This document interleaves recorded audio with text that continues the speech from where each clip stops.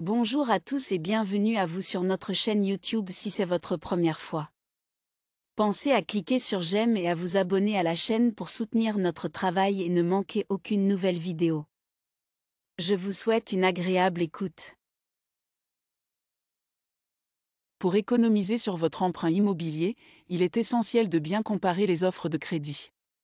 Plusieurs éléments sont à prendre en compte, le taux d'intérêt, les frais de dossier, l'assurance emprunteur, mais aussi la possibilité de rembourser de manière anticipée sans pénalité. N'hésitez pas à négocier ces différents points avec votre banque. Vous pouvez également faire appel à un courtier en prêt immobilier qui pourra trouver pour vous les meilleures conditions du marché.